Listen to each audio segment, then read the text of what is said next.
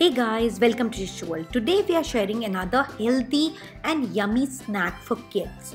It has fox nuts, coconut and sesame seeds which are all very very good for children and we are going to use uh, jaggery in it, not sugar. So very nice uh, and yummy snack. So here we have taken 2 cups of makhanas or fox nuts. They are easily available everywhere and they are very very uh, healthy. We have taken 1 cup of jaggery or gur uh, I have taken half teaspoon of fennel seeds and couple of cardamom pods.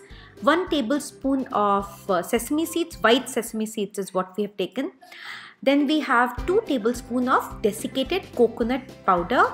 If you do not have this, you can even uh, grate the regular coconut, uh, dried coconut that is. And I will use a few pinches of ginger powder or sonth powder and 3 to 4 teaspoon of ghee. So we start with the heating the ghee. So in a pan, I'm just taking a couple of teaspoon of ghee at first. And in this, I will roast the makhanas like we roast the makhanas for any dishes. So we have to continuously keep stirring it till they become nicely roasted and crunchy. So this takes 4 to 5 minutes easily and you have to do it on medium heat. You should not hurry this process up. Now as you can see I can crush them easily with my hands. So that means they have completely roasted. Now keep them aside for them to cool down. Again we take a teaspoon of ghee and now we will uh, make the jaggery syrup. So I have uh, broken the jaggery into small pieces. You can even grate them uh, grating the jaggery will make this process even more quick.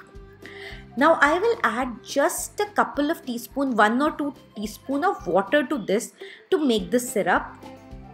Do not add too much water, otherwise it will become too syrupy. We just want to melt this jaggery. We do not want to make a chashni or uh, a, a, thin syrup out of it. We just want it to be melted. So by the time the uh, jaggery is melting, I have uh, crushed the spices which is the cardamom and the fennel seeds. So jaggery has melted nicely. We don't have to make it too thick. As soon as it is melted, just turn off the heat, add the spices. I've added all the spices here.